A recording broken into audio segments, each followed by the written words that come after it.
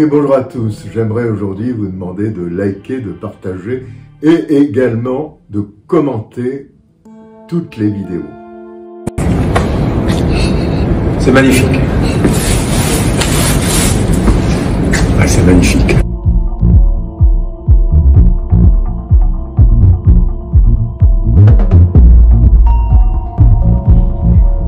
Problème d'André, c'est parfois qu'il n'y a pas de contradiction. Voilà. Et, et qu'il n'apporte pas la contradiction. Et- Et, que quand on assène, quand on assène une vérité, il faut asséner une autre vérité. Voilà. Sinon, il n'y en a qu'une. Je voudrais faire comprendre à quelque chose, à quelques bonnes âmes, qu'elles soient d'ici ou d'ailleurs, que ce que veut dire la contradiction, c'est pas mal qu'ils relisent un peu leur dictionnaire. La contradiction, d'abord, c'est de faire parler des gens qui n'ont pas droit de citer dans les trois quarts des médias. Et la contradiction, c'est nous. La contradiction, c'est vous. La contradiction, ce sont les gens qui ne cèdent pas à la, à la doxa où trois quarts de, la police de la pensée, de la pensée unique euh, correspondent. Non.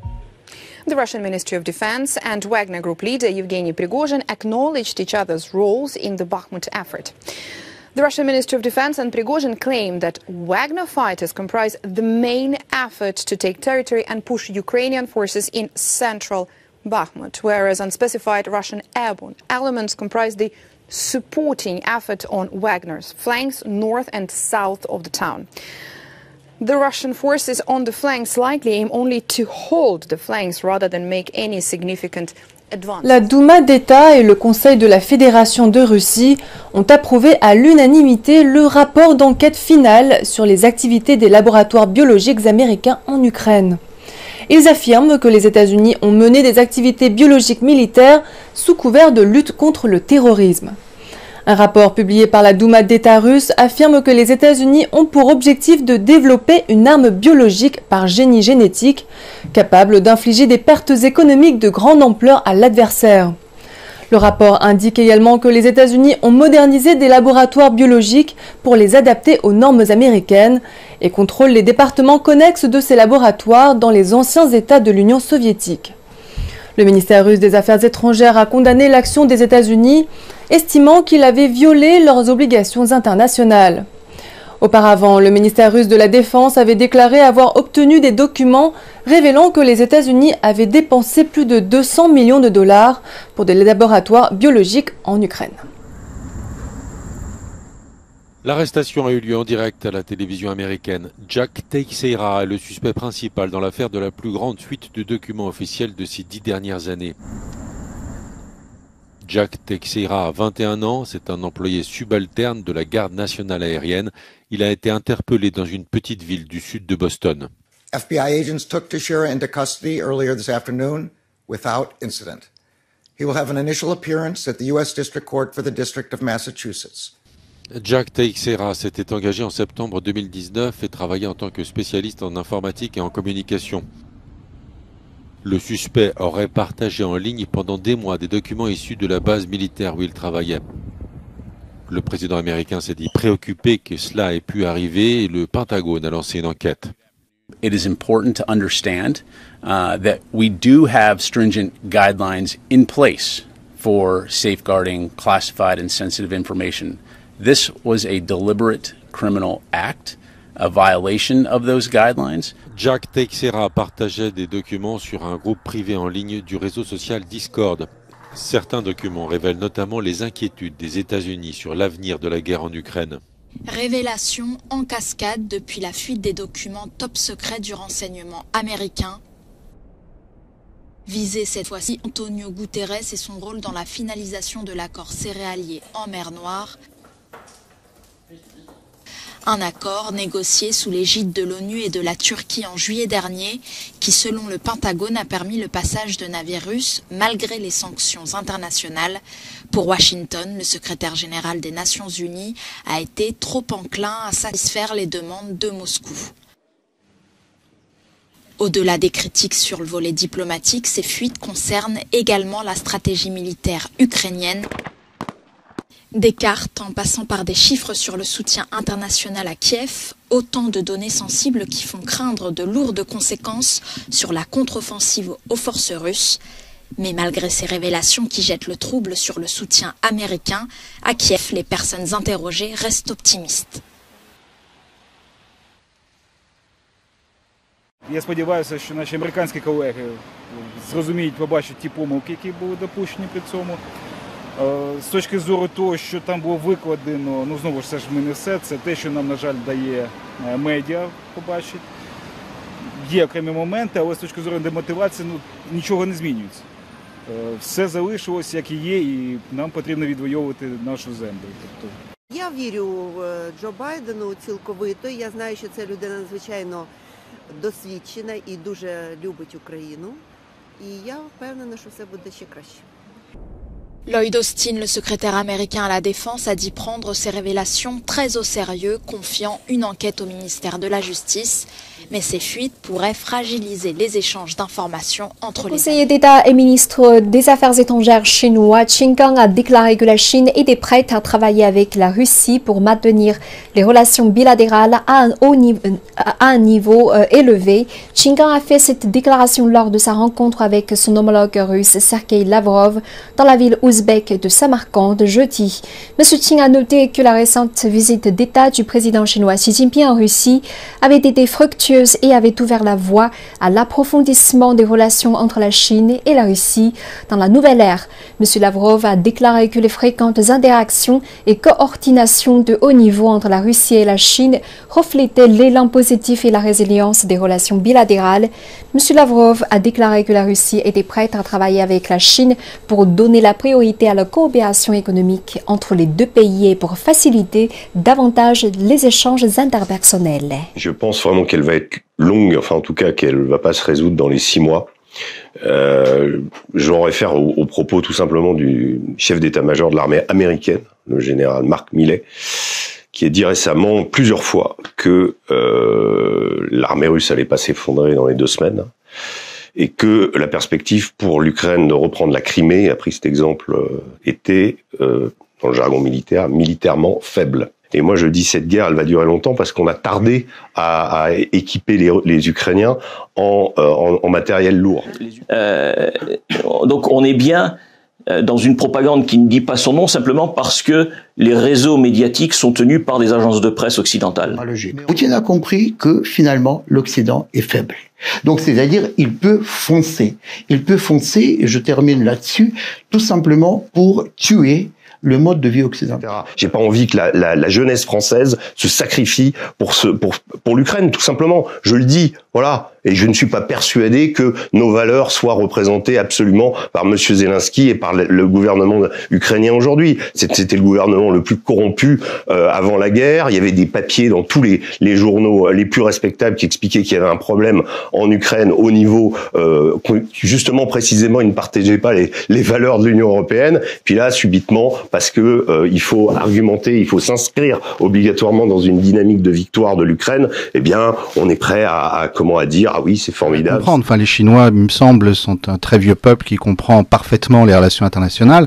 Je crois qu'ils ils, ils ont du mal à comprendre effectivement un point ils font semblant de ne pas comprendre, mais en fait, ils ont bien compris que l'Union européenne, qui avait été imaginée comme un facteur de paix, est devenue aujourd'hui va en guerre et euh, met de l'huile sur le feu dans le conflit entre la Russie et l'Ukraine. Et donc, euh, ça, c'est une question générale dans le reste du monde.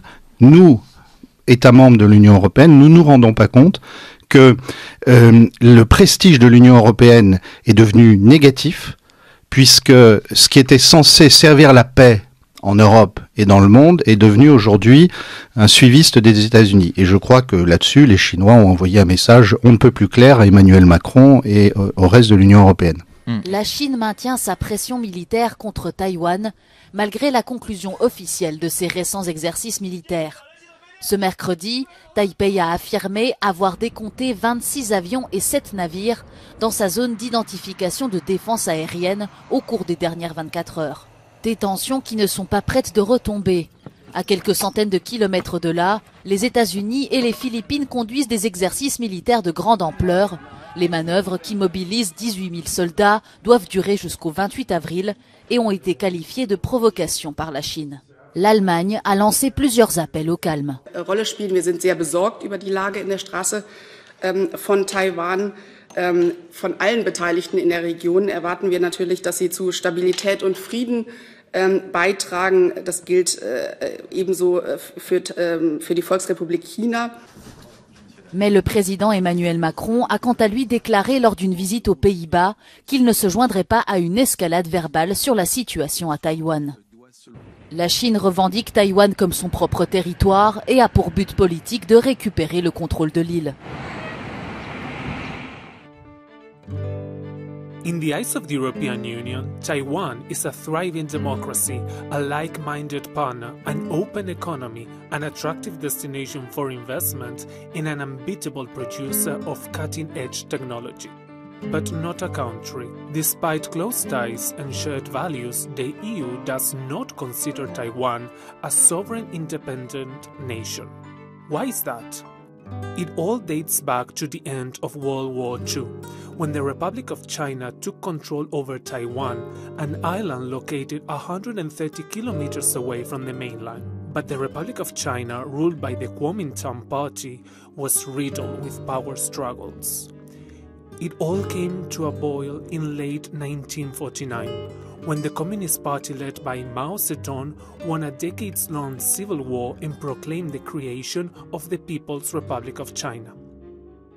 Defeated, the government of the Republic of China retreated to Taiwan alongside millions of troops and civilians. The situation effectively created two separate entities on both sides of the Taiwan Strait. The People's Republic of China, based in the mainland and supported by the Soviet Union, and the Republic of China, based in Taiwan and backed by the United States. At first, the West considered the exiled Republic of China as the rightful representative of the Chinese people. But in the 1970s, diplomacy took a turn, and the People's Republic of China gained recognition as the sole legitimate government of China.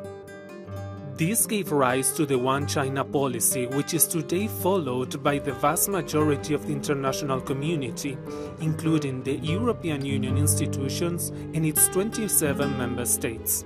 The policy left Taiwan without recognition as a state or UN membership. In fact, the island, which still goes by the name of Republic of China, has official diplomatic relations with only 12 countries and the Holy See but the EU maintains informal relations with Taiwan and cooperation on issues like human rights, trade, climate change, and security. The EU even has a so called Economic and Trade Office in Taipei, a sort of lower ranking embassy. In a statement to Euronews, a spokesperson of the European Commission said, in line with the EU's One China policy and the Indo Pacific strategy, the EU will continue engaging with Taiwan in areas of common or global interest, without any recognition of statehood. Emmanuel Macron tacle les États-Unis après sa visite de trois jours en Chine. On accourt chaque fois que la France et l'Europe ont besoin de quelque chose ces dernières décennies et c'est comme ça qu'ils nous remercient. Le président français les a rendus furieux. À la télévision américaine, dans la presse, l'allié français est très critiqué.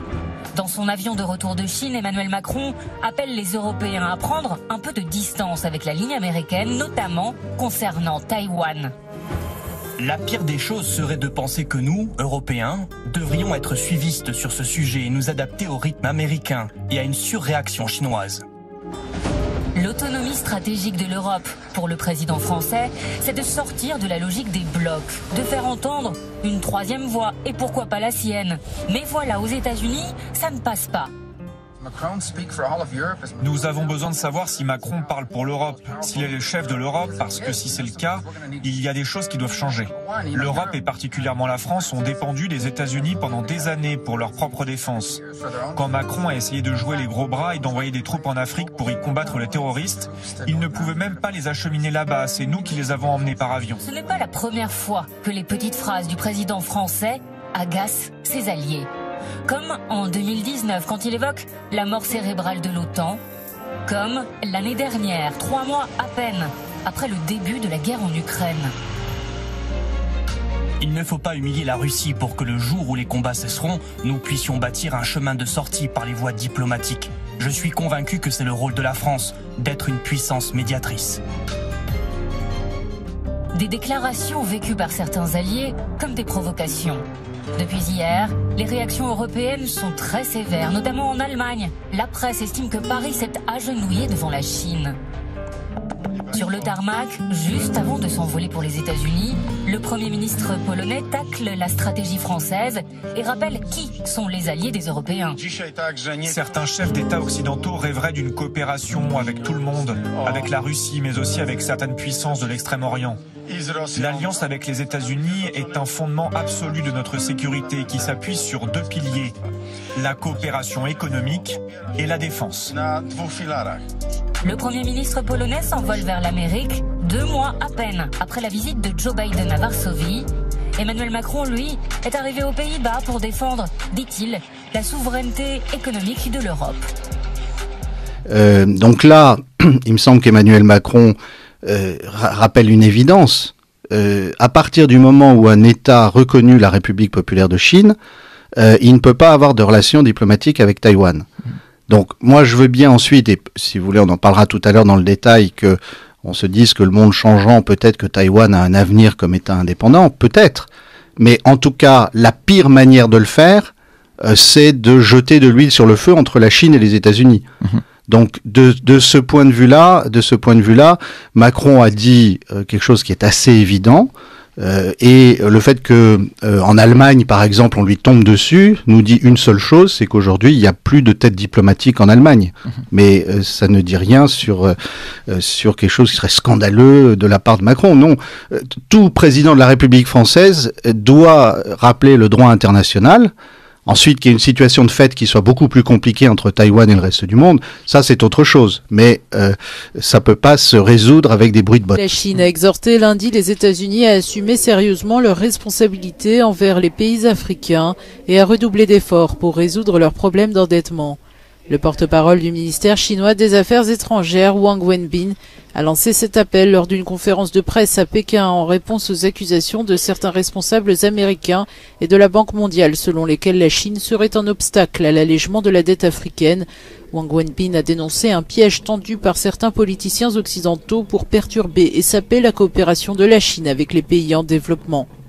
Ces déclarations interviennent après une vague de visites de hauts responsables de l'administration américaine en Afrique dans un contexte de concurrence croissante de la part d'autres puissances mondiales, en particulier la Chine et la Russie.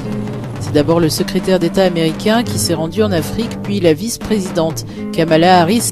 Durant le sommet États-Unis-Afrique en décembre à Washington, Joe Biden avait promis un engagement plus important des États-Unis en Afrique et annoncé une aide de 55 milliards de dollars sur trois ans pour le continent. Matin, l'ancienne présidente brésilienne Dilma Rousseff a pris officiellement ses fonctions en tant que présidente de la nouvelle banque de développement des BRICS. Le président brésilien Luiz Inácio Lula da Silva, arrivé mercredi soir à Shanghai, y était présent. Lors de la cérémonie d'inauguration à Shanghai, Madame Rousseff a promis que la banque soutiendrait les pays en voie de développement afin de répondre à leurs besoins économiques, sociaux et environnementaux. En tant qu'ancienne présidente d'un pays en développement, je connais l'importance de banques multilatérales et l'importance des banques nationales. Le défi le plus important est de fournir un financement et une échelle suffisamment importante pour relever les immenses défis liés aux besoins économiques, sociaux et environnementaux des divers pays. Il s'agit d'un défi très important qui nécessite beaucoup de financement et l'aide de divers pays. Tentons d'y répondre ensemble. Madame Rousseff a été nommée par le président Lula pour occuper cette position. Elle sera en poste durant deux années jusqu'à ce que le Brésil termine sa présidence tournante de l'institution en 2025. Durant la cérémonie, le président Lula a également prononcé un discours. Il a déclaré que la création de la nouvelle banque de développement montrait qu'ensemble les pays en développement étaient capables de créer du changement économique et social. L'établissement de la nouvelle banque de développement est une importante décision pour le développement des pays émergents afin de prendre soin de certains pays les plus vulnérables. Ils ont besoin d'un fort soutien en termes de financement et nous ferons de notre mieux pour les aider. Cependant, nos réformes sont relativement différentes des réformes traditionnelles du passé. S'il n'y avait pas de réformes, il serait difficile d'avancer sur ces choses. Le président Lula a déclaré que le Brésil jouerait un rôle plus important pour surmonter les défis mondiaux. La banque a été fondée en 2015 par les pays des BRICS pour financer les projets d'infrastructure et de développement durable dans les économies de marché émergentes et les pays en développement. Elle a depuis admis quatre nouveaux pays, le Bangladesh, l'Égypte, les Émirats arabes unis et l'Uruguay. La banque effectue désormais une transition vers sa seconde stratégie quinquennale qui engage environ 40% d'investissement vers des projets liés au changement climatique. Il s'agit d'une occasion spéciale pour deux telles figures majeures du Brésil d'apparaître sur la même scène. Le président Lula est l'un des fondateurs du mécanisme des BRICS, tandis que l'ancienne présidente Rousseff est l'un des fondateurs de la nouvelle banque de développement. Et disposer d'une telle figure importante à la tête devrait renforcer la banque et le mécanisme des BRICS. Le chinois Wang Yi a rencontré jeudi à Beijing Celso Amorim, conseiller en chef de la présidence du Brésil. La rencontre a eu lieu avant les entretiens prévus à Beijing entre le président brésilien en visite Lula da Silva et le président chinois Xi Jinping, M. Wang a déclaré que les discussions entre les dirigeants du Brésil et de la Chine ouvriraient un nouveau chapitre dans les relations bilatérales et apporteraient des changements significatifs à leur pays et au monde. M. Wang a fait remarquer que la Chine et le Brésil étaient des membres du groupe des pays BRICS. Il a déclaré que la Chine était prête à approfondir la coopération entre les membres des BRICS dans divers domaines, à améliorer leur influence et à promouvoir les réformes de la gouvernance mondiale. quotidien. Nous sommes maintenant au Japon avec vous, Bernard Delattre. Un mystère ce matin à la une des journaux japonais. Un hélicoptère de l'armée qui s'est volatilisé non loin de Taïwan. Il a disparu des radars il y a plusieurs jours déjà, mais on ignore toujours pourquoi. Selon l'agence Gigi, ce serait incompréhensible qu'il se soit abîmé en mer. La météo était excellente ce jour-là, l'appareil était dans un état impeccable, et il était piloté par un équipage chevronné, puisqu'un lieutenant général était à son bord. Les réseaux sociaux accusent l'armée chinoise qui, au même moment, effectuait des manœuvres d'envergure dans la région. Le quotidien Tokyo Shimbun s'effare de tant de commentaires complotistes qui n'ont aucun sens, ajoute le Asahi. Un hélicoptère abattu par un missile, cela se serait vu et entendu, les radars l'auraient aperçu et des milliers de débris auraient été retrouvés. Bref, on ne sait pas et ce mystère passionne les Japonais. La chaîne Fuji rapporte qu'en ce moment, dans les librairies, il se rue sur les livres consacrés au fameux triangle des Bermudes dans l'Atlantique où bon nombre de bateaux et d'avions auraient disparu. Le chef de la diplomatie syrienne en déplacement en Arabie saoudite, en présence de l'Iran, une situation inconcevable il y a encore quelques mois, mais désormais possible grâce au rapprochement diplomatique entre Riyad et Téhéran. Les deux puissances régionales veulent mettre fin à la guerre en Syrie et la ramener à la table des négociations, notamment à la réunion de la Ligue arabe du 19 mai prochain dans le royaume saoudien, où se réunissent une vingtaine d'États de la région. Le prince Faisal bin Farhan et Faisal Megdad ont discuté des mesures nécessaires pour parvenir à un règlement politique complet de la crise syrienne et que la Syrie reprenne son rôle naturel dans le monde arabe. Depuis le début de la guerre civile en Syrie en 2011, le pays était isolé diplomatiquement. Le 6 février dernier, l'Arabie saoudite a repris contact avec Damas après le séisme. Riyad avait envoyé de l'aide aux populations sinistrées dans les zones sous contrôle gouvernemental et rebelles. Depuis, reprise des services consulaires et des vols, renforcement de la coopération dans la lutte contre le terrorisme et le trafic de drogue.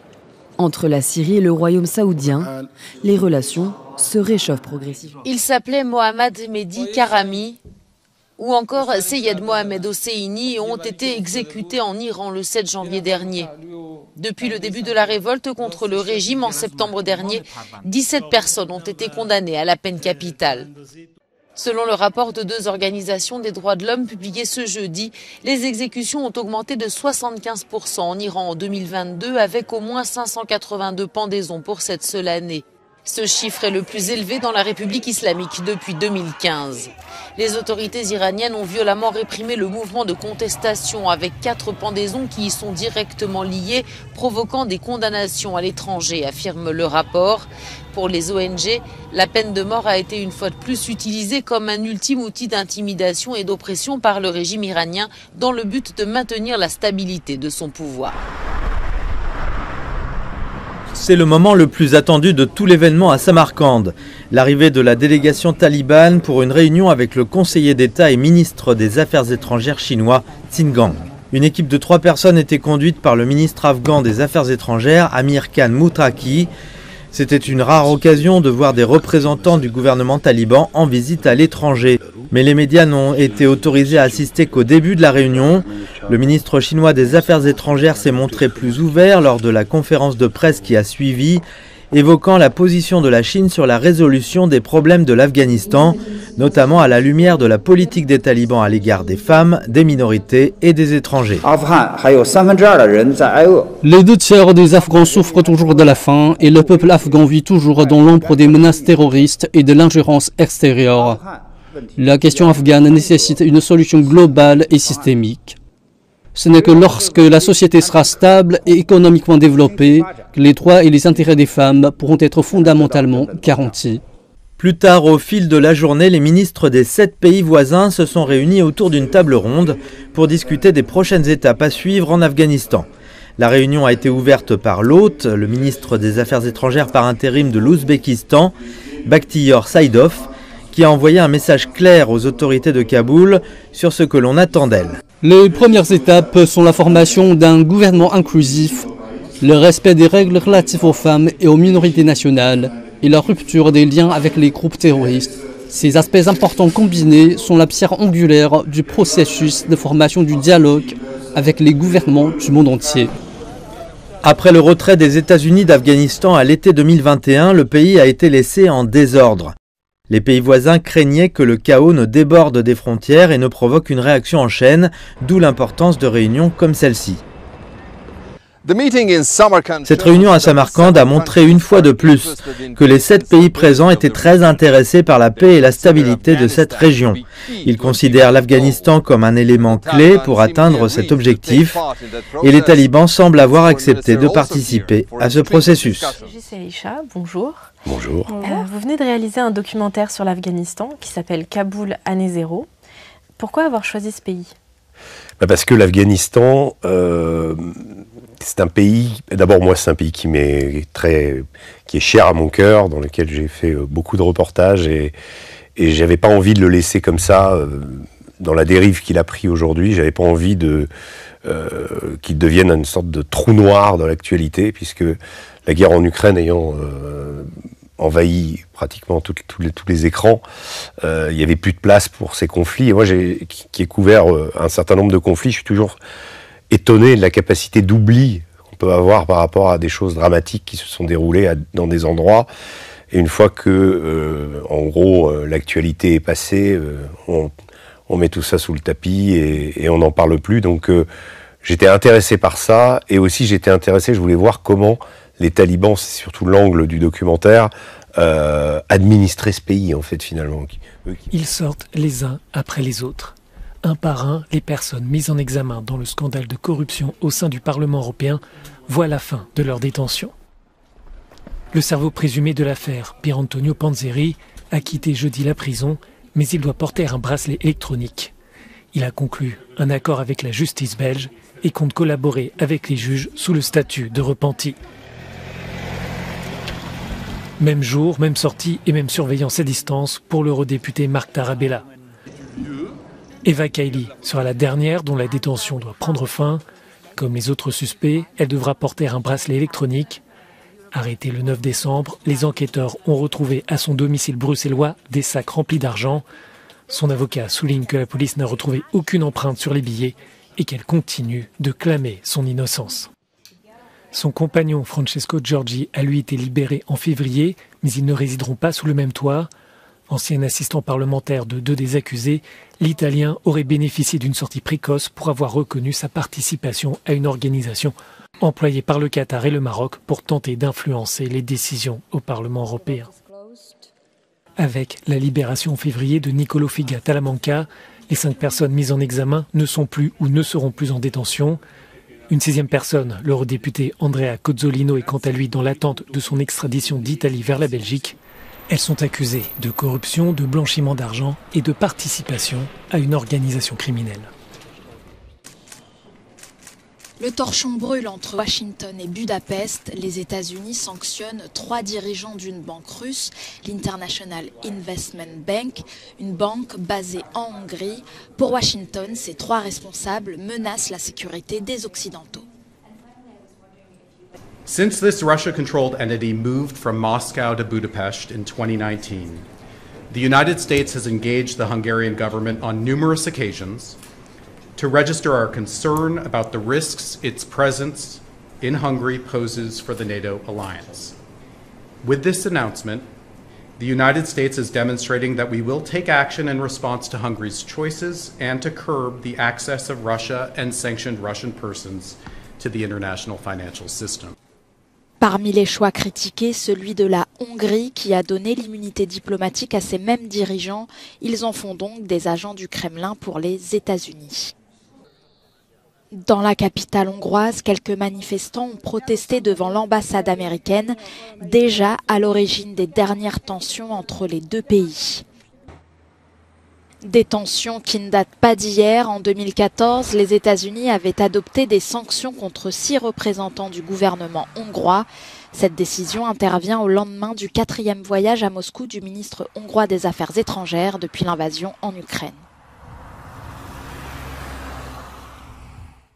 L'émotion en Italie après les obsèques d'Andrea Papi, 26 ans, tué début avril par un ours dans une zone montagneuse. Le drame a secoué le pays car il s'agit du premier incident de ce type depuis 150 ans. Après cette tragédie, l'ours en question, une femelle de 17 ans, va être abattu et les autorités se penchent sur l'abattage d'autres individus qui pourraient présenter un danger pour l'homme. L'ours a été réintroduit dans la région du Trentin dans les années 1990, une zone qui compterait actuellement une centaine d'individus, Beaucoup trop pour ce territoire selon l'État qui prévoit de déplacer en masse des ours vers d'autres régions. Les ONG dénoncent une gestion par la peur et parlent d'hypothèses farfelues. Les chrétiens orthodoxes célèbrent Pâques ce week-end et le traditionnel agneau pascal est attendu sur toutes les tables. Malgré une inflation galopante dans le pays, elle a atteint en février 6,5%. Alors dans le marché central d'Athènes, les commerçants veillent à maintenir des prix attractifs. Ο κόσμος έχει εδώ και 10 τελευταίες μέρες έχει ξεκινήσει τις αγορές τους και στο αρνί και στο κατσίκι. Οι τιμές είναι 9 και 10 ευρώ το κιλό. Όπως ξέρετε ο πληθωρισμός έχει ανέβει και εμείς έχουμε κάνει μεγάλη προσπάθεια και έχουμε κρατήσει στα περσινά επίπεδα τις τιμές. La plupart des clients jugent le prix de la viande raisonnable, mais problème, ils ont moins d'argent à dépenser. Είναι πολύ καλές οι τιμές. 8 ευρώ βρήκα, κατσίκι και αρνί, Πέρυσι είχαν ακριβότερα, φέτος είναι πιο φτηνά. Περίπου τα ίδια με πέρυσι είναι περίπου. Κακά τα ψέματα, δεν έχει χρήματα ο κόσμος. Στριμώχνεται από όλες τις μεριές. Si la viande et autres œufs en chocolat restent des indispensables, les jouets ne sont pas en reste. Ils sont très prisés et semblent épargnés par la crise, et ce pour le plus grand bonheur des commerçants. Χαμός έχει γίνει, έχουμε, είμαστε πάρα πολύ ικανοποιημένοι, έχει πάρα πολύ κίνηση. Έχει βγει ο κόσμος να ψωνίσει, ε, προτιμά πάρα πολύ τα παιχνίδια, λαμπάδες. Philina est étudiante et dans les allées de ce magasin, elle cherche un cadeau pour son filleul, mais craint d'être restreinte par un budget serré. Ήρθα να βρω μια λαμπάδα για αυτό το σημείο μου. Μπορείς να βρεις κάτι οικονομικό; Ιδανικό δεν θα το έλεγα, ότι υπάρχει κάτι το οποίο θα μπορούσε να, να ταιριάξει με τα θέλω του παιδιού και της τσέπης σου. Οι καταναλωτές επισκέπτονται αγορές και καταστήματα, συγκρίνουν τιμές και αναζητούν τις καλύτερες προσφορές. Αρκετοί θα κάνουν τις αγορές τους την τελευταία στιγμή, αφού ελπίζουν πως θα βρουν ακόμη καλύτερες τιμές σε τρόφιμα, παιχνίδια και πασχαλινά δώρα.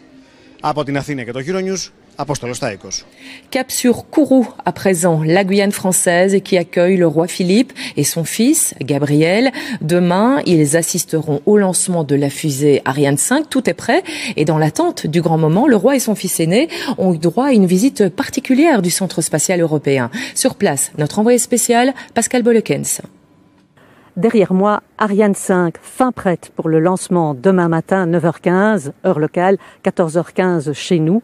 En attendant, le roi, aujourd'hui, avec le prince Gabriel, a visité différents sites de la base de Kourou. Je vous propose de découvrir ce reportage que nous avons réalisé avec Emmanuel Talarico. Le roi, accompagné de son fils, le prince Gabriel, a quelques encablures à peine d'Ariane 5. C'est l'image du jour. Le site est hautement sécurisé. Les boosters de la fusée sont pleins de carburant. Mais le roi est l'invité de l'ESA et il va découvrir de nombreux lieux de la base spatiale guyanaise aujourd'hui. La Belgique, c'est une grande histoire spatiale qui date de plusieurs dizaines d'années de, avec euh, un pays fondateur de l'Agence spatiale européenne, une communauté scientifique extrêmement forte et reconnue dans le monde entier, des ingénieurs et des industriels qui sont là avec des, des pièces essentielles des lanceurs. Et voilà justement le futur des lanceurs européens. Ariane 6, plus économe, qui prendra le relais d'Ariane 5 en 2024 Il faut donner l'accès à l'espace à nos satellites, aux États membres, au plus bas prix. Et donc sur cet enjeu, on a pris toutes les expériences qu'on avait du passé, à la fois sur Ariane 4, Ariane 5, Soyuz, et on a développé ce pas de tir et ce lanceur vraiment pour rentrer dans, dans cet objectif de coût, puisqu'on on parle de diviser le coût du lancement par deux. Et à chaque fois, la Belgique participe à ces projets. Même Thomas Pesquet comprend la présence de notre chef d'État ici à Kourou. Bien sûr, il fait peut-être pas des, choses drôles tous les jours, le roi, j'imagine. Ça ne doit pas être marrant tous les jours d'être roi des Belges. Euh, mais en tout cas, bah, il y a la participation importante de la Belgique à cette mission, participation importante de la Belgique dans les vols habités. Euh, donc euh, c'est logique qu'il soit là. Et puis il découvre tout ça avec des yeux d'enfant, c'est ça qui est le plus drôle. Et puis le spatial, on l'ignore souvent, représente beaucoup d'emplois chez nous. Bah, en Belgique, il y a près de 15 000 emplois qui gravitent autour du, du spatial et c'est en augmentation constante. Et donc, si on a un seul message à faire passer aujourd'hui, c'est qu'on est à la veille d'une seconde conquête spatiale. Et donc il va y avoir énormément d'emplois. En attendant, le jour J, c'est demain, et c'est dans cette salle de contrôle que tout va se jouer. L'allumage, le suivi, la mise en orbite de JUICE, la sonde qui va étudier les lunes de Jupiter. Dernier briefing en présence du roi. Le lancement est prévu à 14h15 heure belge, sauf si la météo décide le contraire. Ce soir, en tout cas, tous les signaux sont ouverts. Nous sommes d'abord en Belgique. Bonjour Laura Van Lerberg. Bonjour. Les gros titres de la presse belge. Les scientifiques belges à la conquête des lunes de Jupiter, titre le journal La Libre Belgique, et une visite royale pour le lancement de la sonde européenne à bord de la fusée Ariane 5. Un voyage historique pour la Belgique, note le quotidien Le Soir. Le pays fait partie des membres fondateurs de l'Agence spatiale européenne. Il participe au programme Ariane en recherche et développement depuis 1973, ajoute le journal L'Echo. Le roi Philippe, roi des Belges, que l'on sait passionné par l'espace, est sur place. Il découvre le centre spatial de Kourou, une visite exceptionnelle d'un site ultra protégé, précise le journal Le Soir. Mais l'invité surprise est son fils, le prince Gabriel. On le sent attentif, suivant son père partout où il se déplace, commente le journal Sud Info. Le voyage pourrait ainsi faire naître une nouvelle passion chez le prince, conclut le quotidien. Mais d'abord, Catherine Ney, comme tous les vendredis. Bonjour Catherine. Bonjour Dimitri, bonjour à tous. Alors, quel que soit l'avis du Conseil constitutionnel ce soir, les questions du lendemain déjà se posent. Qui, par exemple, récupérera le mouvement social, capté à son profit cette énergie? On s'agite beaucoup à gauche. Il y a un côté un peu balle des revenants. Oui, d'abord, de quelle gauche parle-t-on? Celle qui ne veut pas servir de tremplin à la NUPES, à l'hégémonie des insoumis, à leur chef Jean-Luc Mélenchon et son éloge presque folle de la violence révolutionnaire. Paris, ville fondamentalement révolutionnaire, pour preuve, dans les années 400, des légionnaires gaulois avaient manifesté sur le boulevard Saint-Michel. Ils refusaient de combattre en Orient, vient-il de dire, sans préciser s'ils étaient arrivés en métro. Maître Gims, qui voit dans les sommets des pyramides de l'Égypte ancienne une antenne relais pour l'électricité, a donc trouvé son maître. La bataille de la station Alésia, hein, comme disait Renaud. Oui, alors exemple de revenant Catherine Ney. Bernard Cazeneuve, l'ancien Premier ministre de François Hollande, il vient de lancer son mouvement. Oui, contre le bruit et l'outrance, contre la NUPES qui, selon lui, fabrique du vote Rassemblement national en candidat industriel. Il veut créer une nouvelle aventure collective, bâtir un projet, un espace de respectabilité. Il se propose, lui, de le décliner sur tout le territoire et il ne ménage pas ses critiques à l'égard de Macron, auquel il n'accorde pas grand-chose de positif. Bernard Cazeneuve a déjà été rejoint par le Parti radical de gauche. Et François Hollande Eh bien, il est partout. Il répond à toutes les invitations. Il est applaudi par des étudiants. La presse lui fait des courbettes. Il a été le seul président à devoir renoncer à se représenter et il laisse un bilan bien peu flatteur. En réalité, personne ne l'attend, mais lui, il croit en lui. Son talent est même de faire rire à ses dépenses et sa force de frappe à lui parce que rien ne l'atteint, tout glisse sur lui Et dans le classement des personnalités politiques de Paris Match, eh bien, il est deuxième entre Édouard Philippe et Nicolas Sarkozy. Bon, il a été humilié par Emmanuel Macron, il veut sa revanche, donc il critique l'hôte de l'Élysée. Et il est bien dans le sens du vent. Alors il s'enhardit, se réhabilite lui-même, et qui sait, en politique, vous savez, ceux qui n'ont pas pu faire ou, ce, ou su faire se croient toujours les meilleurs experts pour dire ce qu'il aurait fallu faire.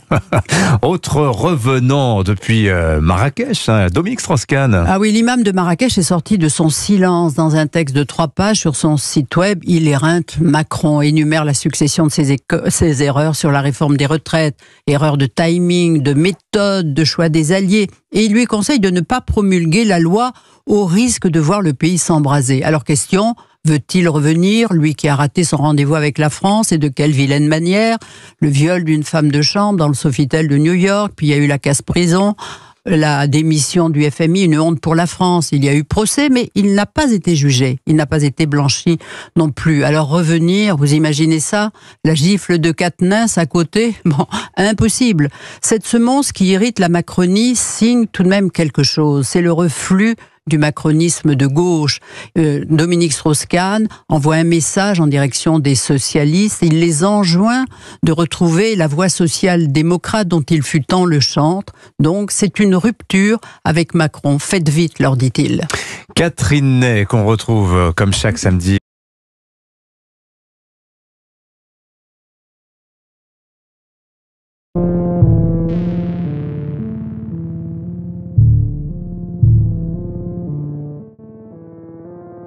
Oui, bonjour à tous. J'aimerais aujourd'hui vous demander de liker, de partager et également de commenter toutes les vidéos.